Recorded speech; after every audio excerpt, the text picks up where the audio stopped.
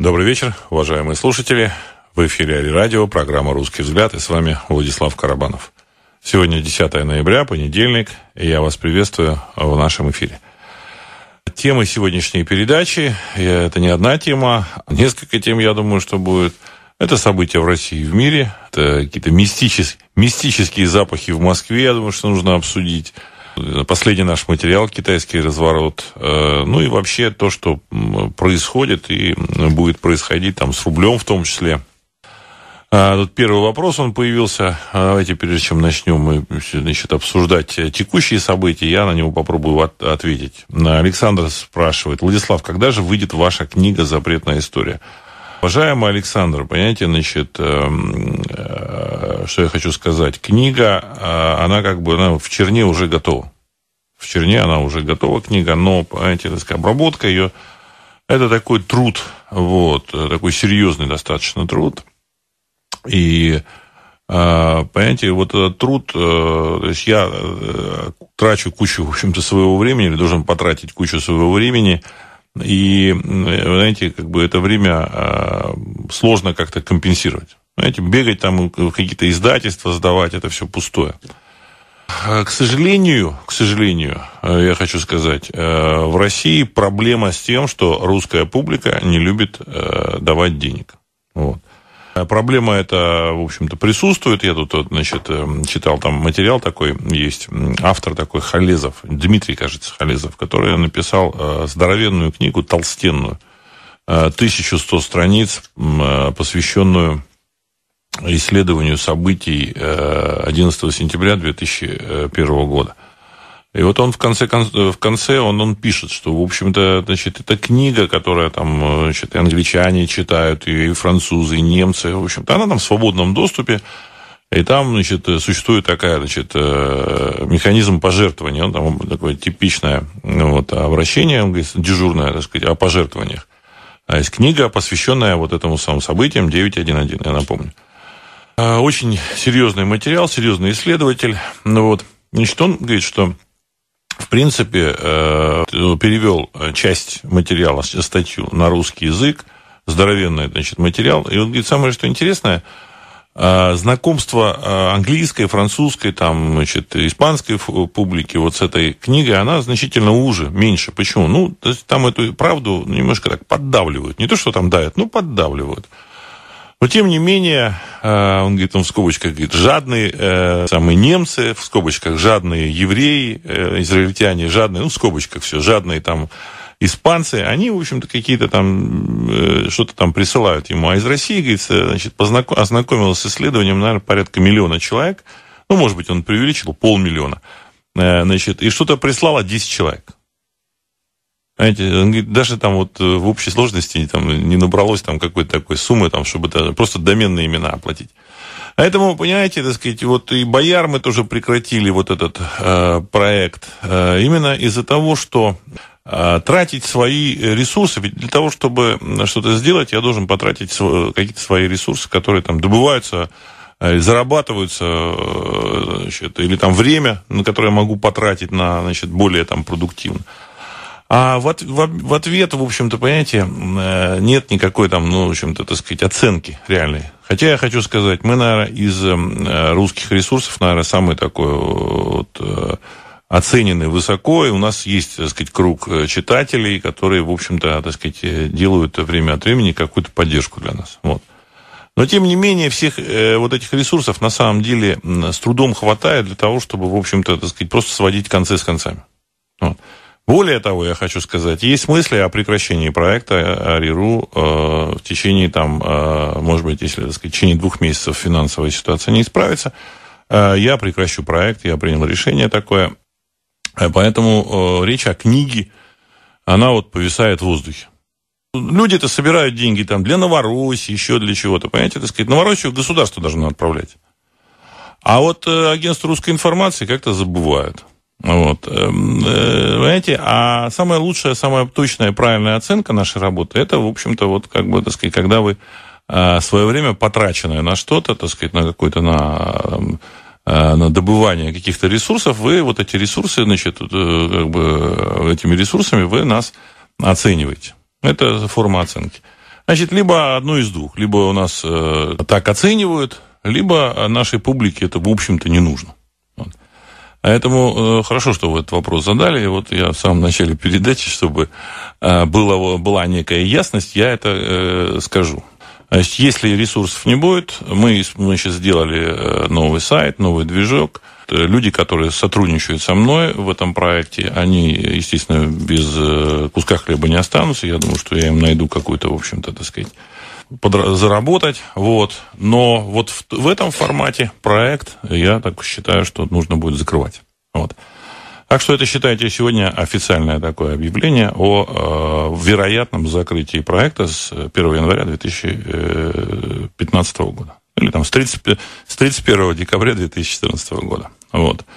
А отношусь к этому совершенно философски. Дело в том, что, понимаете, спрашивают, ну вот мне тут присылают письма читатели, давайте, я, так сказать, мы все-таки а, по, по, на эту тему поговорим, потому что она такая тема важная. А события, текущие события, я думаю, что они как бы подождут. Вот. Так вот, присылают письма читатели, и говорят, ну вот нужно вот, вот это делать для того, чтобы рекламировать там э, сайт. А вот давайте вот это сделаем, давайте это сделаем. На самом деле, эти задача э, рекламироваться или манифестировать себя у меня не стоит. Никогда не стояла. У агентства русской информации не стоит задача манифестирования, понимаете? Так, ну, так сложилась ситуация, я должен был э, вот это делать. А, на мой взгляд, Э, то, что нужно было сделать, то, что, в общем-то, Бог мне сказал сделать, я, в общем-то, сделал. А дальше была очень серьезная поддержка от одного человека за, вот, за такой период. Вот, и я его ценю, он, э, значит, не знаю, там, слушает, сейчас не слушает, вот, там, ну, произошли какие-то такие моменты, была серьезная поддержка. У нас поддерживали, есть люди, которые вот поддерживали, сказать, ну, в силу, я думаю, что своих возможностей, и им огромная-огромная-огромная благодарность.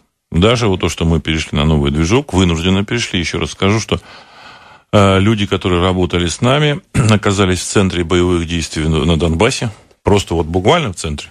Ну, человека, там, сказать, снаряды ложились. Там один снаряд лег в 150 метрах от его дома, другой снаряд лег в 50 метрах от его дома, а он сидел в подвале, то есть ни о какой работе, ни о, ни о, ни о, ни о какой поддержке ресурсов, конечно, речи уже э, быть не могло, и это была вынужденная мера, значит, там э, человек этот, так сказать, и эта группа там какая-то, она э, эвакуировалась оттуда. В этой ситуации нам пришлось, конечно, искать возможность перейти на другой движок. И в данном случае мы эту задачу благодаря слушателям реализовали. Вот. На сегодняшний день, э, в общем-то, так сказать, все, что можно было сделать, э, сделано. Но э, концы с концами, если честно, так сказать, не сходятся. То есть затраты на проект, они есть, это кроме моего, моего времени. И, в общем-то, эти затраты, они, я считаю, что, в общем-то, никак не покрываются. Никак не покрываются, не говоря о моем времени. Я там затрачиваю, так сказать, там, в день там, по, по 10 часов включая переписку, ответы там на письма. Ну, не буду там углубляться. Вот. Так что то же самое и с книгой. Ну, зачем я буду, значит, там, стараться, так сказать, там, выкладывать. Огромное спасибо тем, кто эту книгу ну, дал, вот, там, какую-то сумму, так сказать, прислал, там. Это все небольшие, так сказать, такие суммы. Вот. Э, книгу я рано или поздно закончу, но она будет в таком черновом варианте, я ее, в общем-то, этим людям разошлю. Ну, таким образом, я как бы, значит, э, их э, вклад какой-то, их помощь, я, в общем-то, так сказать, отмечу. Издавать ничего не будут. Украдут, э, будут потом обсуждать, скажут кучу гадостей. Зачем? Вот, вот так, такая вот ситуация. Геннадий Владислав, а чего вы в таком ультимативном тоне с элементом шантажа говорите о закрытии сайта? Денег не будет, закрою точка. Да нет, это, это просто, так сказать, констатация факта, уважаемый Геннадий, констатация факта. Владислав, в Италии Харьков. Владислав, уточните, что значит закроете проект, что уйдет э, и что останется. А проект э, будет закрыт.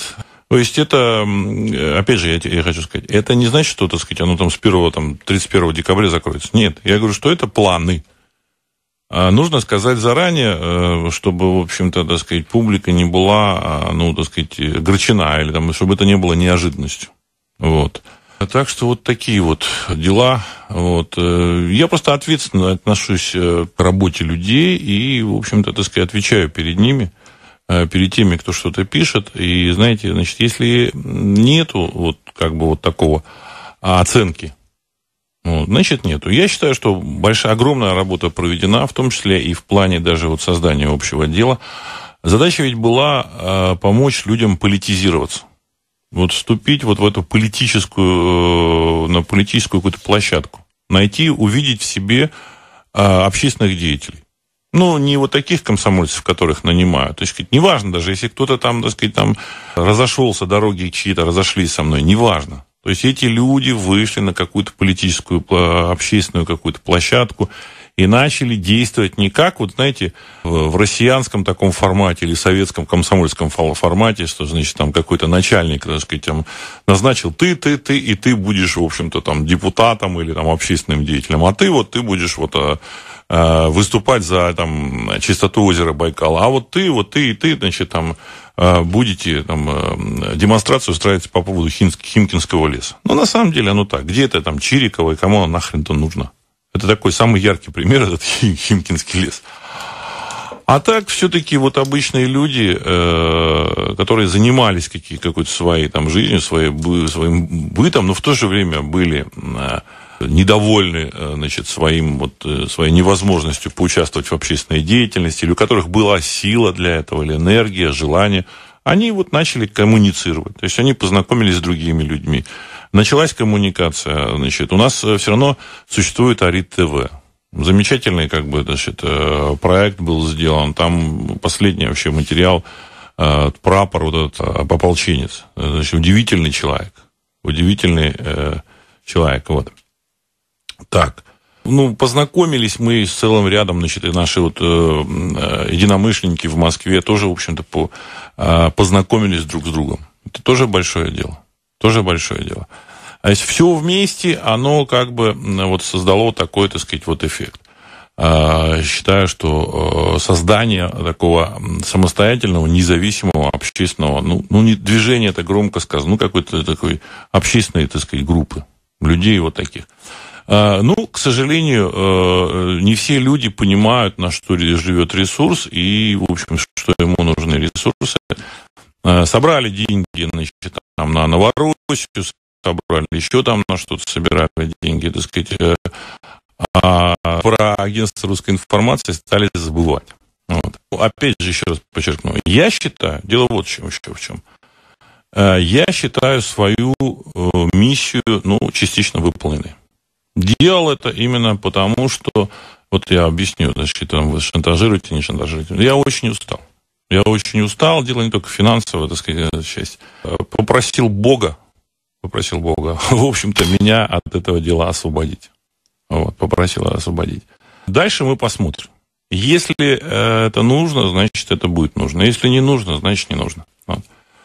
вот Николай, значит, книгу вы обещали, значит, я жду ее два года. Николай, я вам книгу вышлю. Вот я ее доделаю, вот именно для вас лично. Или там еще, так сказать, там несколько человек, которые, так сказать, это все, так сказать, помогли, прислали. Я вам вышлю в электронном виде. Так что сделаю это. Вот. А остальное, в общем-то, значит, э, то, что как бы не, значит, не, невозможно сделать, мне невозможно. В бумажном виде, я думаю, что ее, э, скорее всего, не будет. Так. Ну, давайте теперь э, перейдем к, к текущим вопросам. Вот. Э, в первую очередь, что самое важное? Самое важное – это заявление господина Керри, который встречался с э, Лавровым и сказал, что да, вы знаете, значит, нужно там на Украине вопрос решать э, не силовым путем. И из, из Европы послышались такие голоса о том, что а, Украина злоупотребляет доверием Европы. То есть вот эта встреча с Лавровым произошла буквально сегодня или вчера. То есть вот-вот все-таки сегодня. А, смысл в чем? Смысл в том, что не то, что а, американцы и европейцы, значит, как-то вот тут возмутились украинцами. Нет, просто степень противостояния достигла какого-то, а, какой-то планки. Вот. И когда начали летать ракеты, ну, я думаю, что американцы начали давать задний ход. Но это не значит, что они, в общем-то, так сказать, решили отойти тут и, и все теперь будет, будет мир, дружба, в общем-то, так сказать, и варенье. Нет. Я так полагаю, что это такое временное отступление. вот они как бы прозондировали э, вот эту кремлевскую, кремлевскую позицию. И дальше, значит, э, они поняли, что еще, так сказать, Кремль крепок. Ну вот, есть поддержка среди населения, и решили дальше не продолжать, э, значит, свое давление. То есть на, на какой-то период, я так полагаю, давление чуть-чуть-чуть-чуть ослабнет. На какой-то период. Очень важно, что выступил Генри Киссинджер – который сказал, что да, вы знаете, у нас как бы вот тут э, ястребы там требуют наказать Россию за Крым. А вы знаете, Крым это, в общем-то, исключительный случай. Вдруг они, значит, начали понимать и разбираться в этом. То есть, ну, это все прекрасно было понятно и полгода назад. А смысл в том, что они решили дать немножко задний ход. Но это, я говорю, что еще не значит, что э, закончилось все, и теперь все будет по-другому. То есть, все какие-то э, какие э, отношения будут дальше продолжаться. Нет. Эскалация напряженности будет. Вот. Вообще, если честно, я прогнозирую даже обмен ядерными ударами. Но не масштабную ядерную войну, а локальные разовые, так сказать, обмен ядерными ударами, ну, например, там по какой-нибудь базе. Значит, ну, там американцы где-то а, проверят что-то, так сказать, взорвут, значит, или, под, или как бы в ответ скажут, мы решили, что это русские что-то взорвали, ответить, значит, и вот решили ответить, ну, а Россия тоже ответит, что вот американцы взорвали. Такое, в общем-то, вероятно. Вот. И, э, на мой взгляд, э, все может закончиться только вот э, когда э, значит, степень эм, э, такого противостояния, конфронтации дойдет до э, высшей точки. Вот. Все идет к этому. И вот тут я вспоминаю как раз пророчество или там ясновидение вот этого баптиста, который еще там несколько лет назад говорил о том, что вот на юго-востоке Украины там он видит ядерные взрывы. Это удивительно. Я до сих пор, вот, так сказать, читаю, перечитываю этого баптиста. Мужик, он непростой. Мужик он непростой, он изгонял бесов из людей, и это, в общем, медицинский факт, то есть приходили люди, и он э, реально изгонял бесов, там они как-то говорили нечеловеческими голосами, там, в общем-то, их там колотило, там трясло, колбасило. А есть, э, явно у него есть какая-то сила, энергия, какое-то общение. Вот. И э, вот в этой ситуации, конечно, то, что сейчас произошло, вот его, вот эти пророчества, они обретают совершенно другое другое как бы содержание, вот. И они вполне возможно являются каким-то, вот, знаете, предупреждением. Ну, надеюсь, что на Донбассе там никто не будет применять ядерное оружие, хотя, вы знаете, а, взрыв вот этого то ли завода, то ли еще чего-то там уже был, который сотряс Донбасс. Значит, наверное, видели по телевидению, как там человек, докладчик, который выступал перед аудиторией, рухнул, значит, со своего этого самого Э, постамента, где он там э, перед, на трибуне выступал. Все куда-то провалилось. Э, ну, то есть, то, что там этот э, баптистский священник видел, он же не может идентифицировать, там, ядерные эти взрывы были или не ядерные. Он не ядерный, он насчитал 8 штук. Он насчитал 8 штук. Ну, не знаю, в общем-то, где и чего это будет, но вполне возможно, только когда стороны обменяются вот этими, так сказать, разовыми ядерными ударами, только тогда американская публика, она, в общем-то, возьмется за голову. То есть, ну, люди, понимаете, другое поколение пришло в этот, э, в Белый дом. Значит, тот же самый Обама, там, в общем-то, он занимается там делами там каких-то бомжей, там, понимаете, вот он, ну, юристом был, людей, маргиналов американских. Э, да и сам Обама с такой странной биографией, в общем-то, удивительно странной. Но я уже говорил, не буду возвращаться. Американские конгрессмены – это люди, а, которые тоже не жили в ту эпоху, когда американцы дрожали и боялись ядерной войны. То есть это другая генерация людей. Даже Маккейн, он, в общем-то, так сказать, там повоевал, он войну увидел, ну, такую простую, там, во Вьетнаме, он поэтому к этому относится достаточно просто. А это вот 70-е годы, там 80-е еще были политики, которые там помнят 60-е годы, когда вся Америка строила бомбу, бомбоубежища, значит, там эти там тут чуть ли не магазины бомбоубежищ были, там еще там были там бетонные какие-то конструкции, когда можно было прийти, заплатить деньги, там, значит, выкапывали там какую-то яму, и в эту яму там погружали уже готовое бомбоубежище со всеми там делами, там, запасом воды, там, фильтрами для очистки воздуха, там, значит, там, с э, канализацией, там, с туалетом, с кухней, там, со всеми делами. Вот. Э, в 70-е, 80-е годы э, были вот э, фильмы американские, посвященные вот этому, когда, там, я не помню, вот, ну, «Безумный Макс», наверное, все смотрели. Еще масса фильмов была. И в, это, в этой массе фильмов обязательно присутствует, вот, в общем-то, какая-то ядерная война. Даже вот а, фильм «Планета обезьян». Она же как бы тоже посвящена вот некому, так сказать, Э, неким событиям на Земле спустя там какой-то период, когда значит, люди там уничтожили друг друга, остались какие-то одичалые люди, и вот обезьяны там еще. То есть все об этом после ядерной войны. И это, э, знаете, отражало настроение общества. А сейчас, последние 20 лет после победы американской, заслуженной победы, я хочу сказать, э, в холодной войне, американское общество немножко слегка подзабыло, что это такое. Вот и политики подзабыли, и все. И, видимо, они доведут это дело до э, какого-то ответного ядерного удара. Вот, значит, там, когда там по какой-нибудь базе, там они сами шарахнут, а что-то там в ответ шарахнет, в общем-то. И тогда все успокоится. Вот, э, э, вот только так, мне кажется. То есть политики это дело могут довести до такого состояния. Кремлевские товарищи, понятно, они э, проигрывают, потому что сами они управленцы хреновые. Вот. И вот что делают кремлевские товарищи. Сейчас они начинают заметались. Вот они почувствовали, что их там, в общем-то, сказать, зажали очень так крепко в угол. И вот они бросились э, решать вопросы с Китаем. Вот. А на самом деле события, вот связь э, договоренности с Китаем, там еще что-то, они, наоборот, еще больше накалят а, атмосферу, обстановку и противостояние.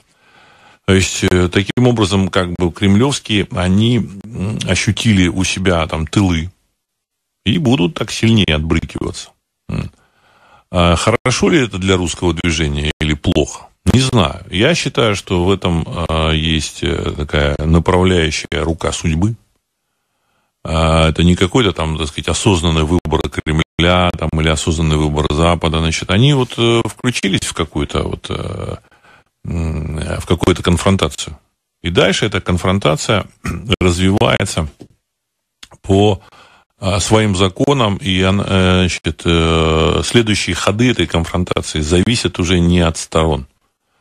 Может быть, американцы даже думают, что они там что-то там просчитывают, что-то делают. Ничего они не просчитывают. Знаете, здесь, я так полагаю, что в эти события включены какие-то силы не только земные, но и внеземные. И высшие силы, божественные силы. И то, что мы называем инопланетянами, тоже включены. То есть, что это такое, мы до сих пор не знаем. До сих пор мы не знаем, что это такое. Дело в том, что вот готовим материал по, вот по событиям 9.1.1, то есть вот тарану этих башен-близнецов, Э, однозначный материал, э, однозначные данные, свидетельства э, говорят о том, что те технологии, которые там были использованы, они являются неземными. Нет у человечества таких технологий, у современного человечества. Может, там откуда-то с Атлантиды какие-то группы остались, там, или с Гипербореи, или с каких-то допотопных обществ. Вот. Но у человечества таких технологий однозначно не существует. Испарить две башни превратить эти две башни в мелкий, так сказать, серый порошок, человечество не обладает ни такими технологиями, ни такими взрывчатыми веществами, ничего. Более того, там, значит, с этими самолетами тоже там э, э, все эти странности, они уже высчитаны, просчитаны, что никакие самолеты э, значит, туда не могли врезаться, вот, так сказать, земные, во всяком случае. А, дело в том, что значит, там есть разрезы вот этих башен, ну вот, сами башни состоят, значит, по внешнему периметру состоят из таких труб стальных, там метр на метр или метр на полтора, вот буквально диаметром труба, которая тянется с самого низа до самого верха. Вот. И толщина стенки у этой трубы 6,5 сантиметров. Значит, грубо говоря, у танка Т-34 лобовая броня не башни, а вот, значит, там, где сидит механик, водитель, лобовая броня 4,5 сантиметра, а там лобовая, а там э, э, толщина стенки вот этого, вот этой трубы 6,5 сантиметра. сантиметра. Если бы туда врезался бы там самолет, пассажирский Боинг, не пассажирский Боинг, в общем, то даже ракета, она бы просто расплющилась об эти башни, и все. То есть он просто не мог физически туда влететь. То есть это понятно. Что такое самолет? Это такая вот алюминиевая хреновина, значит, э, которую там какой-нибудь обычный трактор, там даже, так сказать, есть видео, это вот этот Халезов, так сказать, подготовил. Ну вот. А такая хреновина, которая, э, значит, вот труба вот, когда вот алюминиевая труба самолета, ну, в общем, пассажирская кабина, ее э, просто как бумагу, как картон гнут. Просто как бумагу, там обычный там какой-то, значит, это, экскаватор. Или там типа экскаватора для утилизации вот таких штук. Он как бумагу, хоп-хоп-хоп снимал, и все. То есть в лучшем случае эта штука, штуковина бы врезалась, стукнулась бы вот в эти металлические, так сказать, сплошная цепь. Важно, там они через метр или там через, пол, тоже через полтора метра, они там, так сказать, вот эти трубы по внешнему периметру. Вот он бы врезался, вот, сказать, расплющился, и все и свалился бы вниз. И ничего бы этому небоскребу не, не было. Вот это самое важное. Ну и дальше, значит, как он там испарялся. Внизу там рассказывали о том, что там какая-то температура от керосина там э, тоже там нагре, значит, нагрела там эти конструкции. Чушь собачья. Чушь собачья. Ничего там не, не, не нагрело, там даже люди остались, они живые были. Вот. А вот внизу, э, уже под зданием э, башен, была какая-то невероятная температура, которая разогрела гранит и расплавила его. И гранит тек. И все это, значит, температура э, выше 2000 градусов стояла внизу больше двух недель. То есть какая-то вообще эти башни испарила какая-то энергетическая установка, она не испарила, дезинтегрировала. То есть э, она как бы произвела, в общем, трансмутацию. Металла там не нашли. В этом порошке не было металла. Хотя треть, э, там 100 тысяч тонн металла было, а треть этих башен, она состояла на треть, она состояла из металла. Вот. А остатка, остатков самолетов тоже не нашли. То есть э, а все вместе, все вместе говорит о том, что это были, было значит, что, нечто другое. А не самолеты были, а, возможно, значит, э, под самолеты замаскировано что-то другое либо это были, ну, как замаскировано, с помощью э, какой-то, значит, э, визуализации, то есть какой-то графики такой объемной. Вот этот Халезов, он считает, что там был ядерный взрыв. Потому что по тому, сколько энергии на это было затрачено, то нужен был ядерный взрыв. Но человек, человек там не, допуска, не допускает никаких инопланетян. Поэтому, ну, единственное объяснение – ядерный взрыв. Ну и какой ядерный взрыв может быть, когда Э, не было радиоактивного заражения, там масса всего, так сказать, того, что связано с ядерным взрывом. Или там 2000 градусов, это что там, так сказать, э, что там происходило внизу. То есть было что-то другое. И вот даже есть фотографии этого а, подтекшего гранита. То есть я говорю, а вроде бы начал говорить о сегодняшней политике, о там, взаимоотношениях России, Америка, там, Китай, Европа. А на самом деле мы, видите, сталкиваемся вот с некими э, глобальными силами, о которых мы, в общем-то, ничего не знаем. Ну. Оно как бы и понятно, что за событиями, за вот, действиями, за мотивами, значит, не прослеживается каких-то обычных, понятных мотивов какого-то человеческого общества. Ну да, понятные мотивы там вот этих управленцев, но кто там заставляет людей, например, заселять там в Германию или в Норвегию там, выходцев из Африки или из арабского мира. Кто пропагандирует вот, значит, там всякие там эти однополые браки и все такое. Вот гомосексуалистам нужно. Да, гомосексуалисты существовали на планете Земля, там, я не знаю, там, сейчас сколько эта планета Земля существует, наверное, столько они существовали. Еще Геродот там их описывал, еще, так сказать. Ну, им не нужно было там браки регистрировать, понимаете, вот. Абсолютно. А сейчас кому-то это все нужно выплеснуть в общество, и кто-то это делает эм, постоянно. Вот. Причем это общество в глобальном масштабе. В глобальном. А общество пытаются не просто как бы к этому приучить, а общество пытаются шокировать иногда. Да, вот так, и вот, так сказать, вот должны, должны вот вы это признать. непонятно, зачем это делается. Я вот читал, э, значит, какие-то там какой-то форум, это вот там вот какие-то вот люди там писали, так сказать, сами там, э, они вот там, что-то там обсуждалось. И вот он, тема зашла такая, вот какой-то какие-то люди там нетрадиционной ориентации, а они начали писать, что им это, в общем-то, так сказать, наоборот, это, там, в общем-то, им ломает Э, ну, может, не жизнь, а, а ломает им, в общем-то, поведение. С одной стороны, их тоже заставляют признаться, там есть как бы открытые, есть скрытые, значит, их заставляют признаться там в чем-то. Наоборот, какие-то обычные люди, которые не, не относятся к людям нетрадиционной ориентации, начинают называть себя, в общем-то, так сказать, вот, а, то есть обществу кто-то навязывает эту игру. Или там вот обществу, так сказать, начали, навязали заселение выходцев из э, арабских стран, из Африки. Причем, понимаете, вот арабским странам почему-то никто не навязывает, что вам, вы знаете, нужно срочно что сюда, так сказать, заселить китайцев. Ну, никто. Ни денег не вкладывает, ничего. А вот э, в Европе, в Америке там деньги вот в это вкладываются немалые. Ну, вот э, та же самая Норвегия с, э, с населением 4 с лишним миллиона имеет полмиллиона в своем населении выходцев из стран вот Африки, Северной Африки. То есть чернокожие, значит, арабы. Опять же, я сам по своей, так сказать, натуре человек достаточно толерантный. То есть я считаю, что не, не, не по своим взглядам, я бы так сказал. Вот.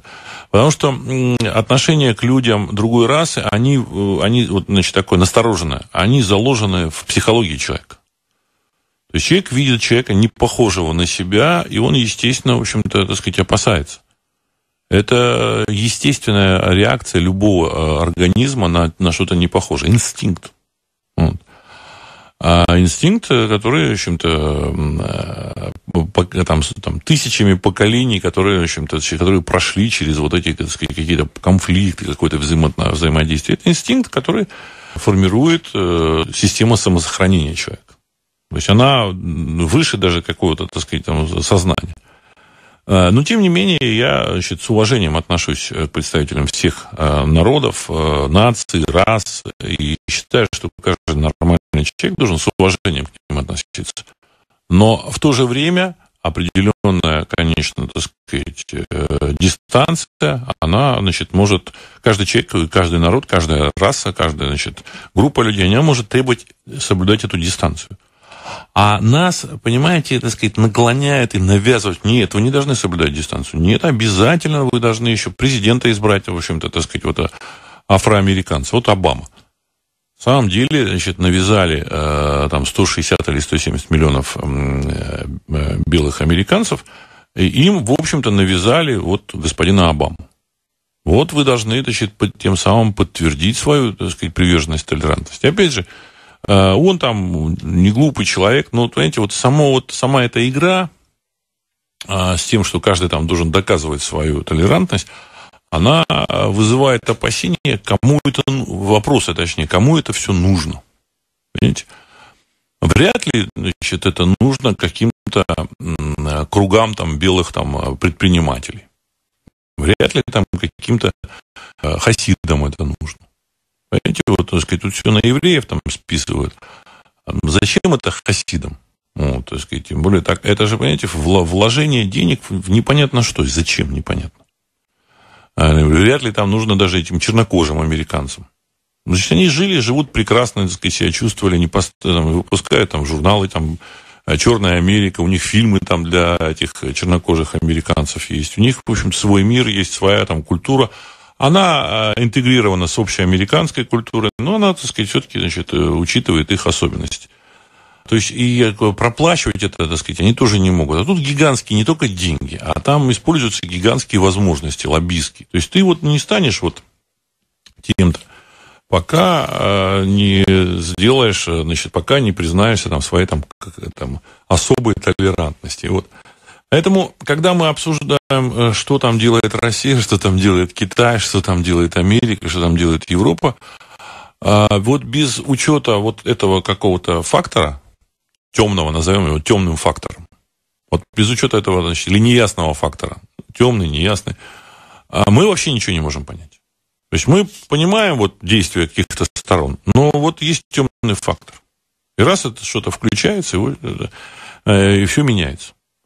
Поэтому с точки зрения логики, вообще, значит, американцы вроде бы эти, они могут оставить Россию в покое.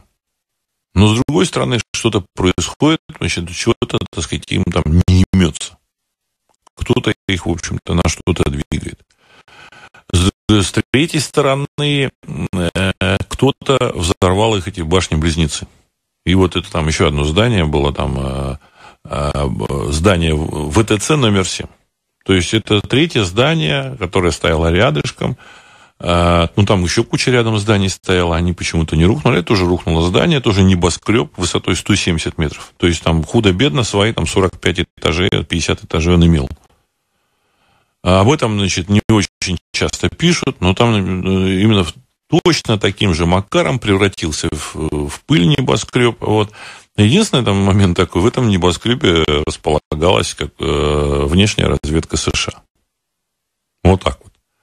Я считаю, что событие 9.1.1 это некое такое объявление войны Америки. То есть мы все время возвращаемся к этому событию. Вот даже вот э, то, что американские конгрессмены начали задавать вопросы про этому саму Бен Ладена, это тоже как бы они хотят узнать, а что нам, нам врете?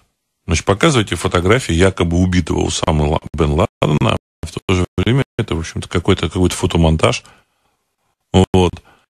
И все это опять э, туда, вот, к событиям 9.1.1. Пока объяснений нет. А вы знаете, там треть американцев, даже больше трети, они, в общем-то, не удовлетворены официальными объяснениями. Пока этого объяснения не будет, э, вообще непонятно, что на планете происходит и кто дергает за ниточки.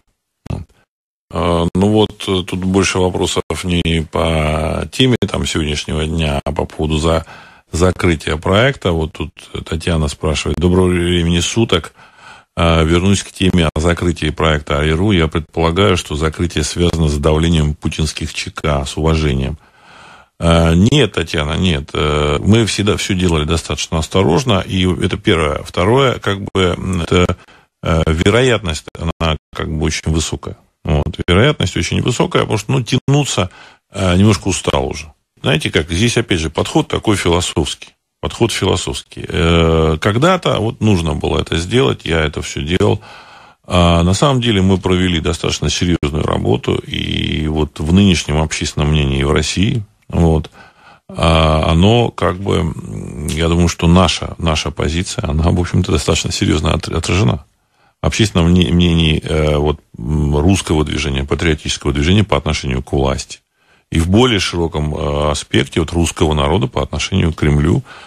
Э, многие позиции, которые чем-то сейчас вот являются так сказать, актуальными вот, по тем или иным вопросам значит, жизни в стране, вот эти многие позиции сформулировали мы. Ну, во-первых, мы сформулировали, очень четко доводили до... Вот вроде сейчас тут кажется банальная вещь, до публики доводили о том, что государство и русский народ – это несколько, в общем-то, разные вещи. И интересы у государства и русского народа могут быть разные. Э, если это русское государство или создано в интересах русского народа, это одно. А если это государство, которое само по себе, и, в общем-то, так сказать, как они себя позиционировали, это другое.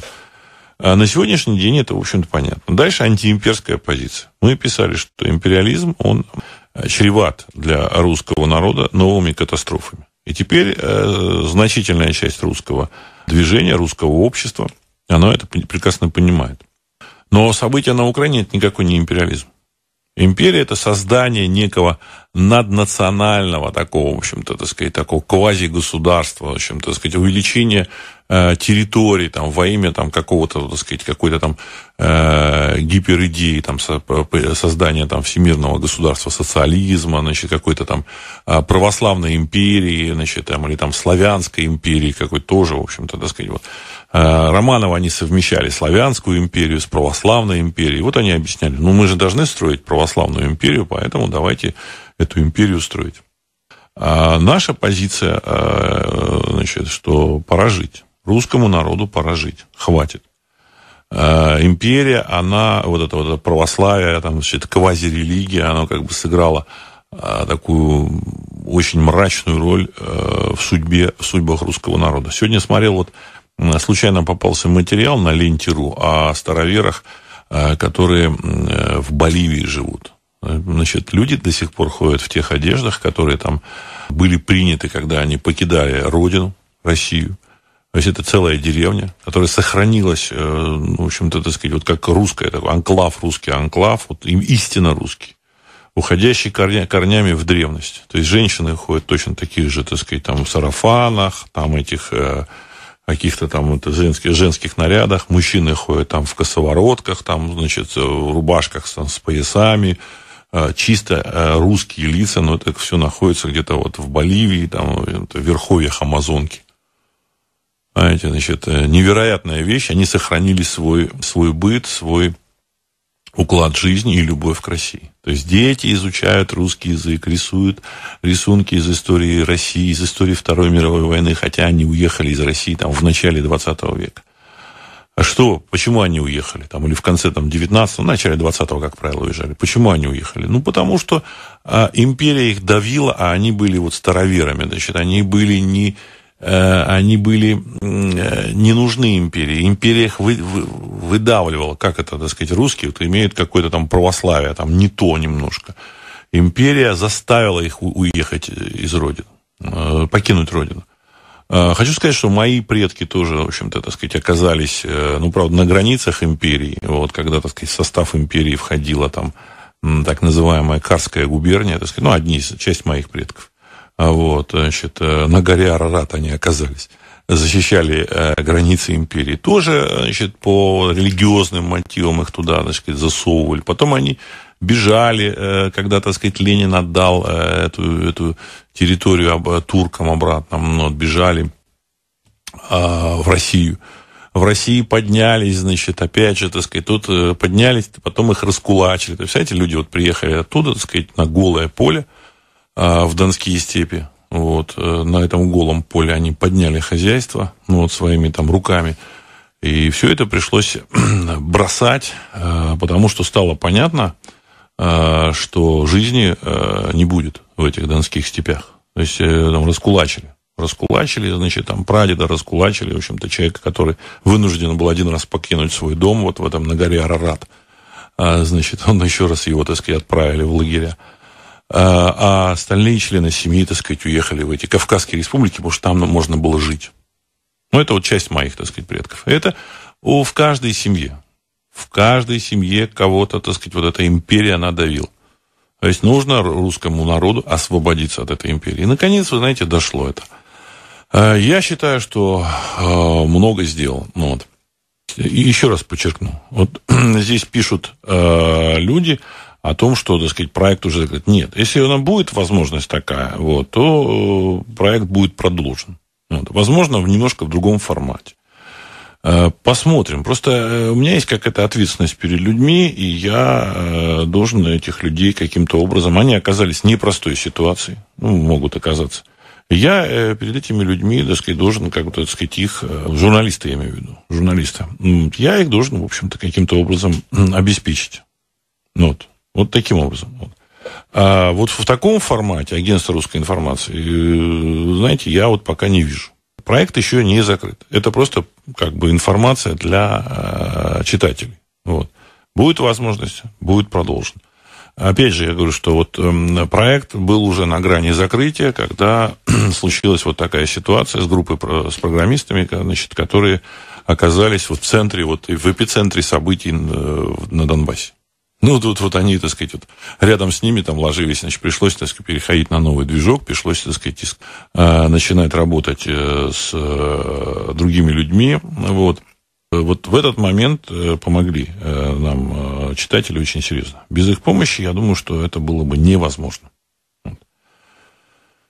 А, так, а, Павел, добрый вечер. По поводу ядерной войны много предсказаний. Например, известный каббалист Лайтман утверждал, что может быть еще две ядерные войны. Хочется э, верить, что Россия в этих обменах участвовать не будет, схватит с нас войны трагедий, а вот по США действительно могут и бахнуть. Есть такое предчувствие.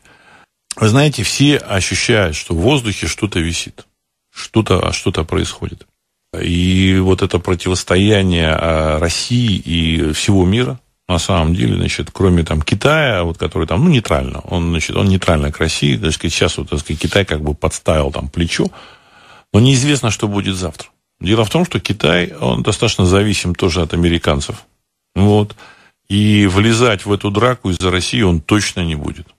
Он точно не будет. Да, они там заключили какие-то контракты, но так сказать, до поры до времени, значит, если они до какого-то уровня они будут э, подписывать договора, там, но вписываться в это без каких-то коврижек они не будут. Э, значит, коврижки они могут попросить что-то.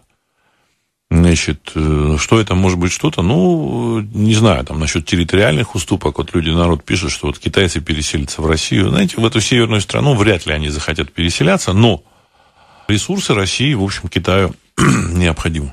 Не то, что нужны, они необходимы. А в первую очередь, конечно, ресурсы Сибири. Так, вот сейчас еще вопросы зачитаю.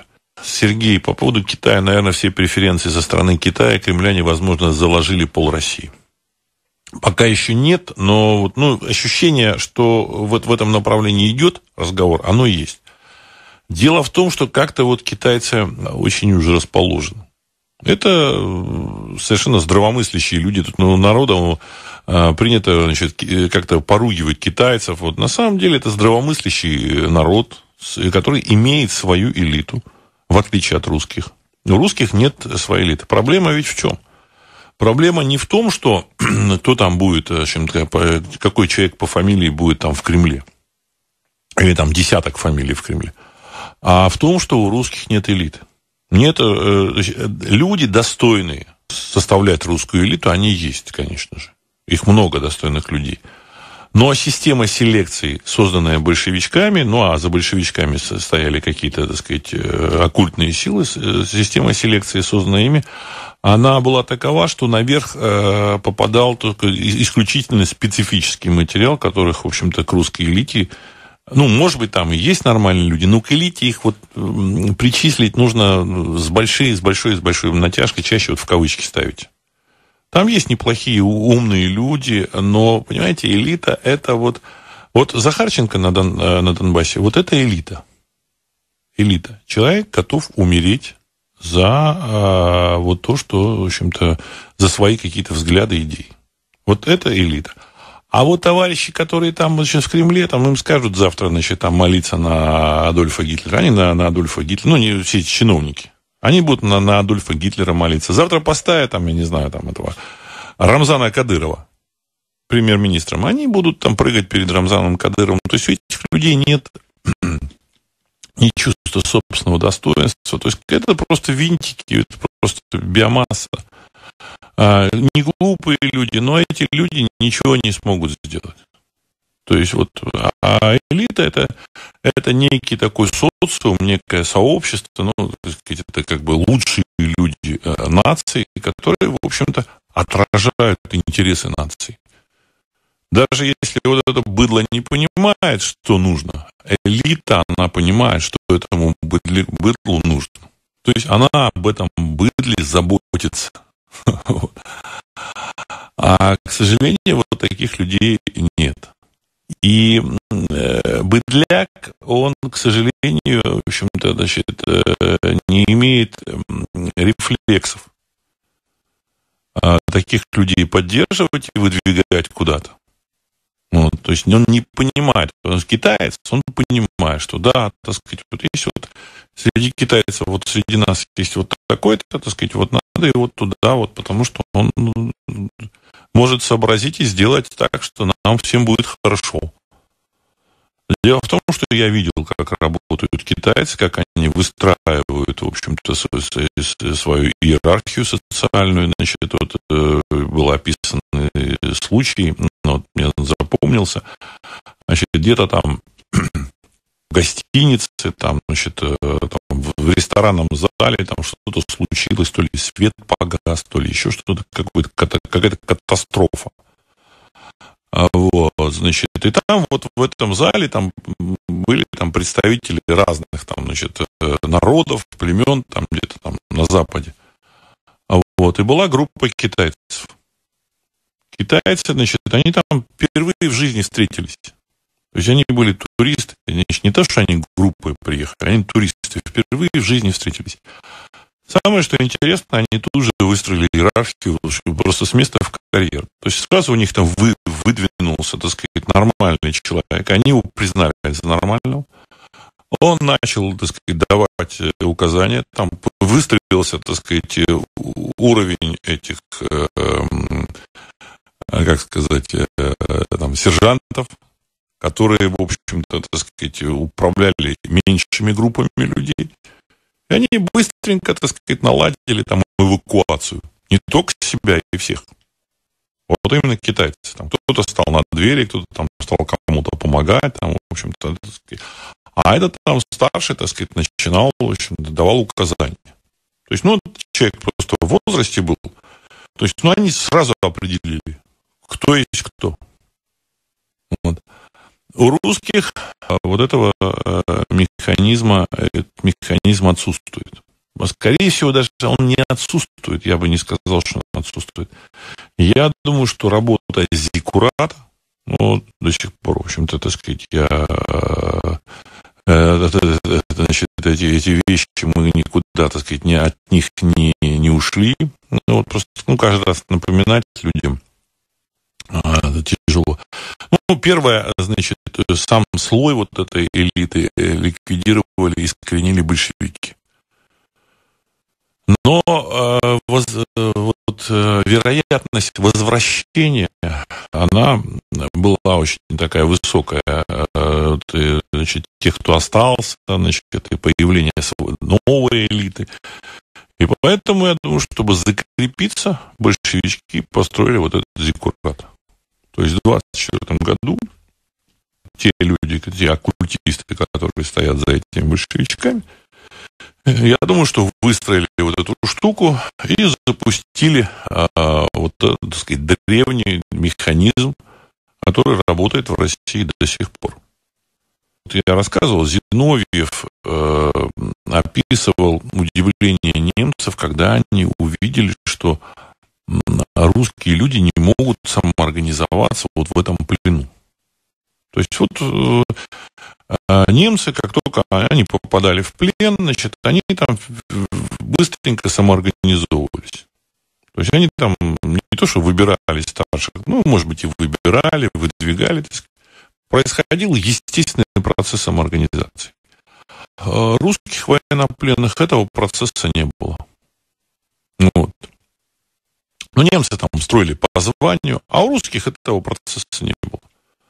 И поэтому, значит, сначала немцы там э, тратили большие как бы, ресурсы военные на охрану этих военнопленных, а потом там какой-то умный человек сказал, да зачем ресурсы? Не надо никого охранять, просто найти место такое наиболее удаленное от поселений, вот, ставить там кухню два раза в день, там, выдавать еду, и никуда они не убегут. Вот так оно и было.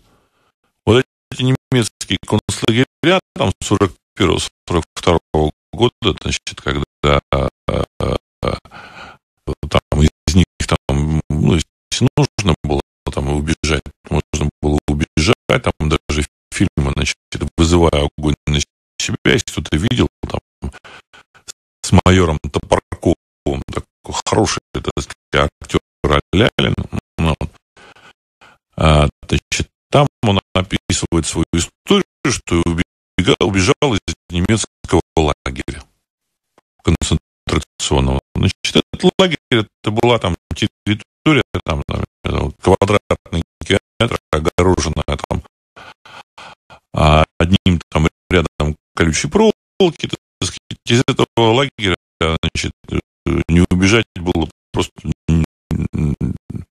смешно. Понимаете? Вот. Ну, если ты убегал, ты сам должен был искать себе там пропитание. А там люди сидели в этом лагере, потому что там кормили. Все. А, а, система паханата была. То есть выдвигались не самые умные, а самые сильные. То есть, ну, как в стадии человеческом. Для народа, который существует уже, в общем-то, несколько тысячелетий, а русский народ – это народ, значит, существующий действительно несколько тысячелетий, вот в своей этой книге я как раз этот вопрос и доказываю совершенно аргументированно. Вот. То есть я это доказательство нашел сам для себя, и это, значит, это, это в книге оно будет э, присутствовать. Вот.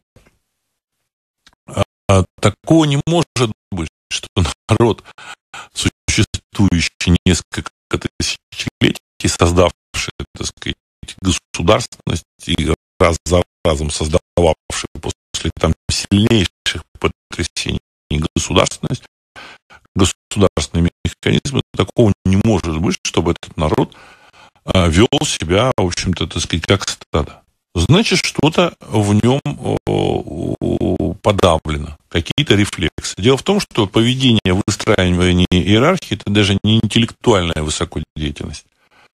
Это, э, в общем-то, почти рефлекс. Почти рефлекс. Значит, еще там в племени, там вроде, значит, э, люди выдвигают там вождя, значит, выстраиваются, так сказать, и начинают действовать. А сейчас э, что такое русский человек? Русский человек ждет, когда ему назначат начальника. Вся эта вот дума, это, в общем-то, люди назначенные кем-то, так сказать, там, э, все, все вот эти, так сказать, губернаторы, то есть это не какие-то лидеры, а просто назначенные сверху люди и, и, и все. Вот. И, значит, и все смотрят им в рот. Э, вот.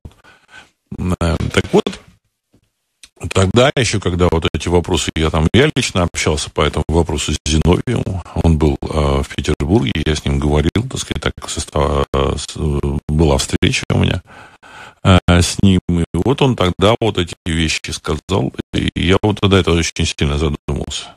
Вот. И потом уже, когда, так сказать, складывая кусочки мозаики, вот, э, вот э, эта мозаика, в общем, так сказать, ее, ее сложение, она привело к зикурату. Оно привело э, к некой вот темной стороне. Вот. То есть есть вот эта сторона, есть эта сторона, это.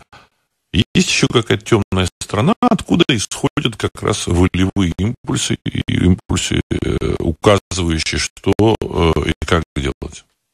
Вот. Причем абсолютно непонятные с точки зрения значит, там, логики, там, рационального какого-то подхода. А вот Владимир пишет, в Москве открылся портал ВАД. В понедельник, 10 ноября, жители центра Востока и Юго-Востока Москвы ощутили запах сероводорода. Буквально перед эфиром звонил э, Владимиру Ануфриеву, в общем-то, секретарю вот, клуба общего дела, сейчас клуб ну вот.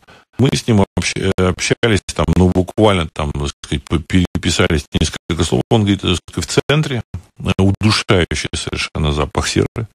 Там в Капотне, там, значит, ну, часть Москвы, не вся. Но, тем не менее, по моим подсчетам, это там 300-400 квадратных километров. То есть, если там считать, сколько значит, это охвачено, сколько какая территория всем этим охвачена, то есть то никакой комбинат не мог таких выбросов устроить.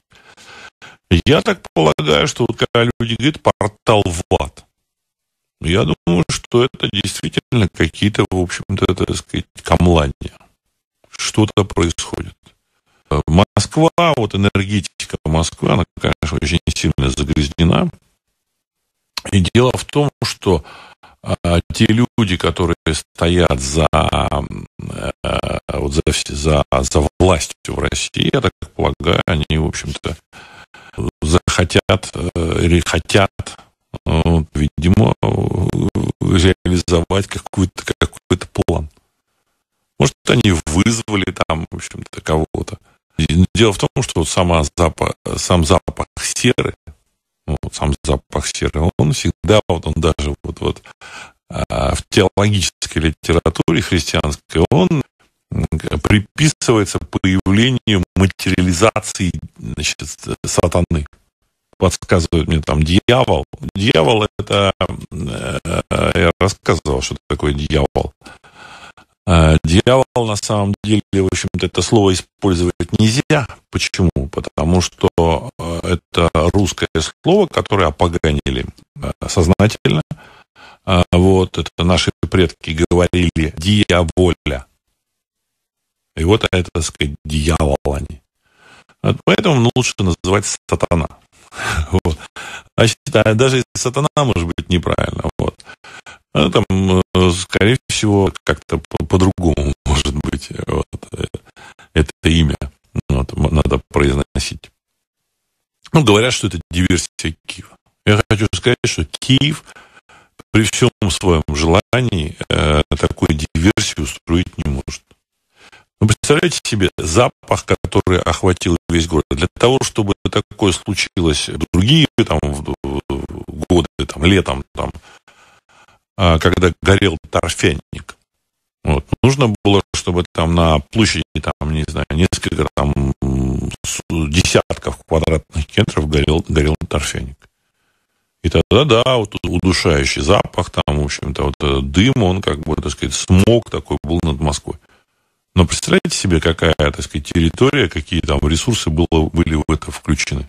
То есть я думаю, что никакой МПЗ там, э, э, к этому не имеет никакого отношения. А может быть, оно и выбросило что-то, но реально, реально, так сказать, это э, какая-то материализация. То есть это связано с материализацией. Ну и тут опять же, видите, вот здесь мы понимаем, как это действует. Вот здесь там, значит, там большевики, там мнение большевиков, вот это все. Откуда они сами взялись? Почему они управляют таким огромным народом, и этот народ ничего не может сделать, чтобы сбросить это, это в общем-то, нечисть, не мог сделать? Непонятно. А, и сейчас то же самое. 84% населения России русские, русские, значит, э, все смеются, показывают пальцами на этих русских и э, весь мир. В общем-то, ими управляет кто угодно, значит, государство, которое, значит, эти русские несут на своих плечах, это государство, в общем-то, так сказать, плевать хотело на русский язык, э, на русский народ, там, втал, втаптывало его в грязь. Вот сейчас что-то они проснулись. Ну, когда, так сказать, припекло под задом. Вот. Так. Азок. В чем может быть опасность выноса Ленина из мавзолея? Э, опасность только в том, что все станет на свои места, и когда, понимаете, все становится на свои места, э, это вызовет определенный социальный какой-то водоворот. То есть люди прозреют, у них проснется их естественная реакция на события они увидят мир другими глазами. Он, значит, поймет, а почему я тут слушаюсь вот этого, так сказать, там, там а товарища, вот, который, так сказать, там, э, не знаю, нам начальником назначен неизвестно кем. А почему вот это государство, значит, оно как бы не мое? Ну, то есть, э, а почему я должен вот это делать? Вот. Э, на самом деле, а вот все это, вот людей, вот эти вопросы, они проснутся, и люди значит, начнут требовать ответ. Естественно, тут будет, будут какие-то перемены. Колчак пишет. Запах сероводорода охватил не только Москву, но также и Курск, и Клин, и Можайск, и Рязань. Так что вы, Владислав, правы. Демонов вызвали кукловоды из, из Кремля. Ну, вот, может быть, может быть. То есть, может быть, это связано с тем, что, так сказать, там тряханут эту Америку. Понимаете, так сказать, вот. А, потому что я, в общем-то, очень серьезно отношусь к этому предсказанию о том, что вот 44-й президент будет последним. Вот специально разыскивал все старые какие-то э, материалы, значит, может, они там ошибаются, но, тем не менее, в один голос все это предсказатели говорили 25 лет назад. А мне прислали читатели книгу 90, 90-го года. 90-го года, который Павел Глоба издал, ну, так сказать, вот эта книга, да, там э, вот э, как бы вот всякие предсказания, которые он собрал еще тогда.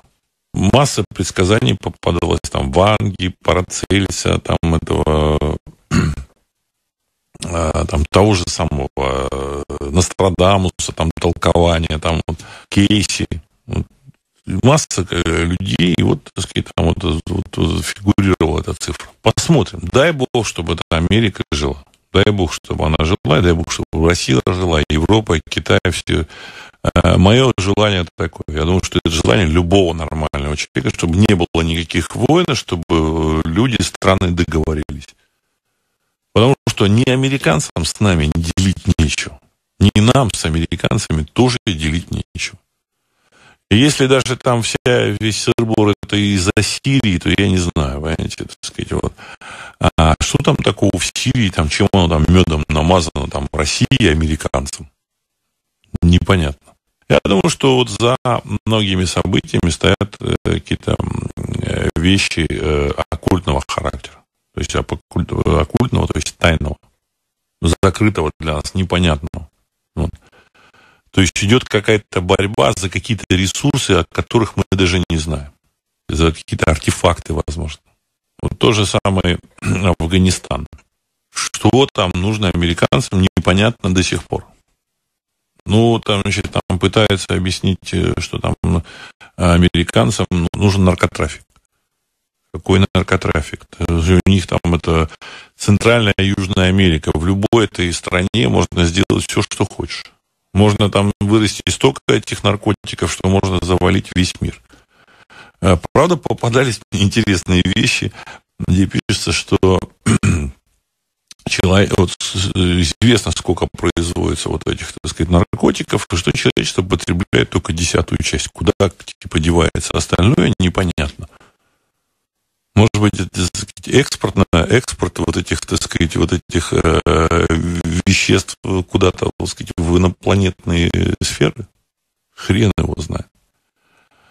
А в Афганистане есть система подземных пещер, а, которые, скорее всего, созданы какой-то потопной цивилизацией.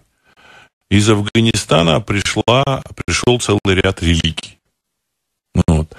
А, возможно, Афганистан был колыбелью арийских народов. То есть эти арийские народы, вот как бы, так сказать, вот там их колыбели, а там они, как бы, так сказать, вот сформировались, э, ну, то есть приш, придя с севера, там, после потопа, они там, в общем-то, сформировались, выжили. Вот, то есть, как арийские народы, ясно, что они пришли с севера, там, но это там было хрен знает когда-то. Э, в допотопные времена. Придя с севера, они там, значит, выжили в Афганистане. Потом уже, так сказать, пошли, значит, и заселили при Черноморье. Там, в общем-то, так сказать, вот при Черноморье они уже э, вот эту лошадь э, приручили. Вот.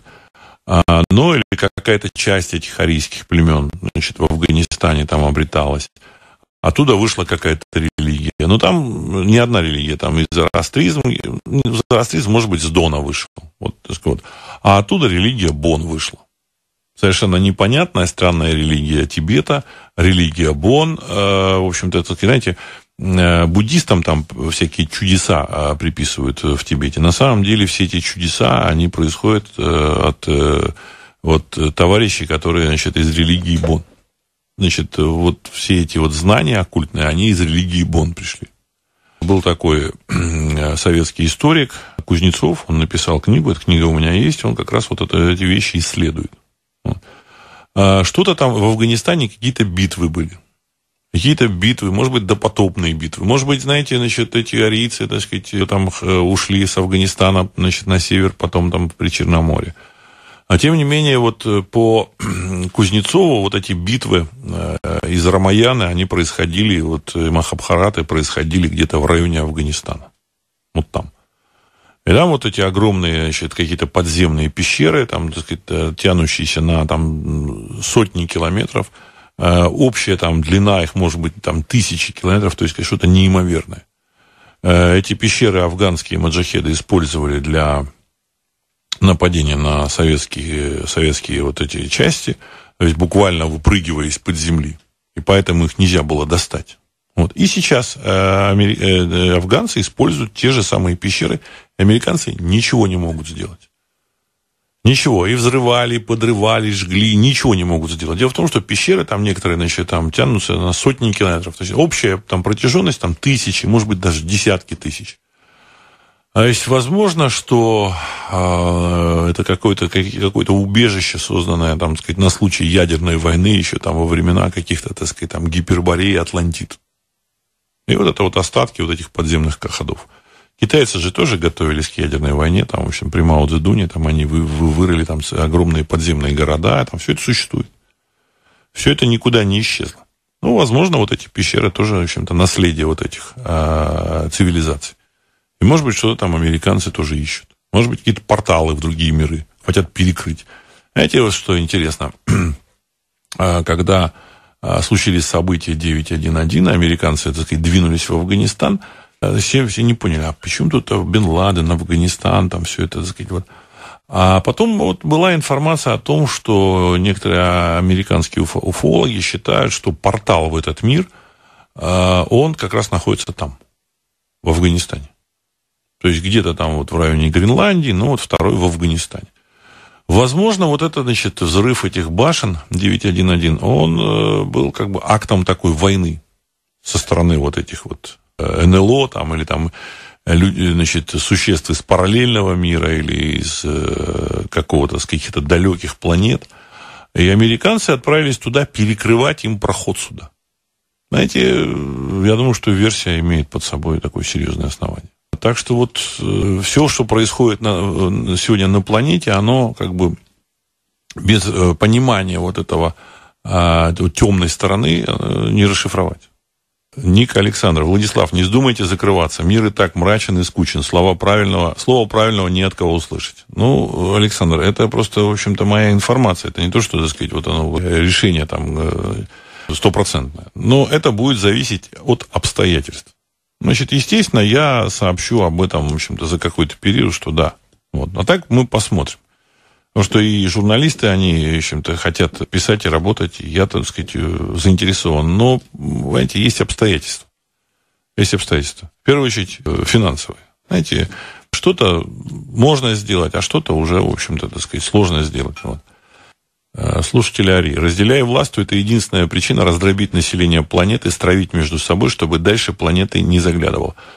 Знаете, вот мы, возможно, подходим к тому периоду, тому периоду, когда человечество узнает, вот, или, так сказать, начнет узнавать какую-то правду. Реально, а вот об этой темной стороне. А, знаете, всех всегда удивляло, вот э, почему э, агентство русской информации, я, в общем-то, занимался вот этими, значит, тарелочками, всем этим. Потому что есть понимание, что существует оккультными вещами, что существует нечто, нечто э, выходящее за рамки вот этого тоннеля реальности, который там в школе, там, так сказать, мир создает, миропонимание, там, в средствах массовой информации, значит, ну, как бы такой устоявшийся. Вот. А людям, конечно, порой сложно это понять. Они начинают хихикать. Там, ну, раньше, сейчас уже, так сказать, пальцем у виска они не крутят, когда говорят об НЛО, потому что это, в общем-то, так сказать, достаточно очевидная вещь. Но э, вза- такой взаимосвязи между событиями и личной жизнью каждого человека и вот этими тарелочками никто все-таки не мог усмотреть. Типа, потом какой-то момент люди там не писали, правильно писали. Владислав Александрович, а какая разница? Ну, и лет есть, они летают и летают. Вот. Какое это имеет к нам, к нашему миру, к нашим делам отношения? А я вот хочу сказать, имеет. И самое прямое. Вот после того, как вот все эти исследования по а, вот этим башням ВТЦ по а, вот этому 9.1.1 появились, и, значит, мы э, однозначно можем сказать, что здесь как раз вот эти человеческие существа, они засветились, они участвовали в какой-то операции, значит, они э, реализовали операцию в отношении американцев. Значит, они реально участвуют в наших э, мировых делах. И от них зависит курс доллара. И изобретения, которые там в Америке появятся или не появятся. Я хочу сказать, как-то меньше стало изобретений таких ключевых э, появляться после этого события. Что-то там поменялось. Да, там чипы там разгоняются, но, так сказать, чего-то какого-то рывка нет. Э, как-то все встало. Может быть, сознательно, значит, это, там американцы там не вбрасывают новые технологии, но, знаете, тоже как бы такой сложно его, значит, технологии, там, значит, научно-технический прогресс привязать к чему-то. Но, возможно, он связан вот с этими контактами.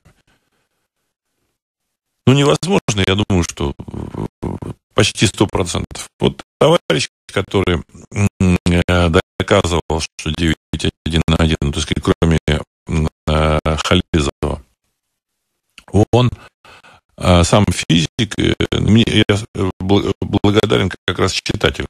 Вот на его сайт, я знал его сайт по новой физике, а вот этот, вот это, значит, его исследование по 9.1.1 а это не Халезов. Э, значит, я вот прочитал благодаря вот подаче нашего читателя, который, кстати, на форуме перед, э, передачи э, скинул. Так вот, он считает, что и, кстати, я тоже так считаю, что и атомную бомбу, в общем-то, так сказать, человечество получило из вот тех самых рук. И я так доверяю физику, который утверждает, что физики ну, там, а, а, академическая физика, она не могла даже додуматься до того, не было у, него, у нее инструментариев, чтобы создать э, даже теоретически ядерную бомбу. Смысл ведь в чем? Как объясняется? Что какие-то теоретики взяли, продумали, придумали и вот создали атомную бомбу. Я хочу сказать, теоретики даже пороха, в общем-то, так сказать, теоретически не могли создать. Нужно было, так сказать, опытным путем все сделать. А тут они что-то тут узнали и взяли все это, взяли это, создали атомную бомбу, вот они просчитали там на каких-то моделях. Хрена лысого. Я вот рассказывал, как эм, э, поразило наших э, инженеров, которые работали с немцами военнопленными, ну, немецкими инженерами, которые после войны, ну, не, не столько военнопленными, но сколько, в общем-то, людей, которые взятых э, в Советский Союз для того, чтобы отработать здесь, значит, на оборонку э, Советского Союза. Их удивило, как э, немецкие конструкторы работали. Но от наших требовалось сначала, так сказать, там, предложить идею, потом начертить, потом там, значит, это вот чертеж воплотить в реальность. А выяснилось, что немцы э, начинали делать без всякого чертежа. А сделав, они начинали по, по, после этого чертить и уже как бы доводить этот самый, так сказать, уже сделанную вещь, они просто переносили на бумагу, чтобы пустить в серию. А так делали ручками. И наука, если там, э, значит, взять, там, посмотреть, что там наука открыла, не открыла, и выясняется, что наша наука, она ничего почти не открыла. Она, в основном наука фиксирует то, что существует. Вот, так сказать, столкнулось человечество вот с этим, а дальше наука уже как бы все это объясняет. То есть наука, а, современная наука, она просто в роли объясняльщика. Причем они пытаются, значит, если вот это они не могут объяснить, они, значит, говорят, что нет, это невозможно. А так, чтобы что-то они тут это самое продумали,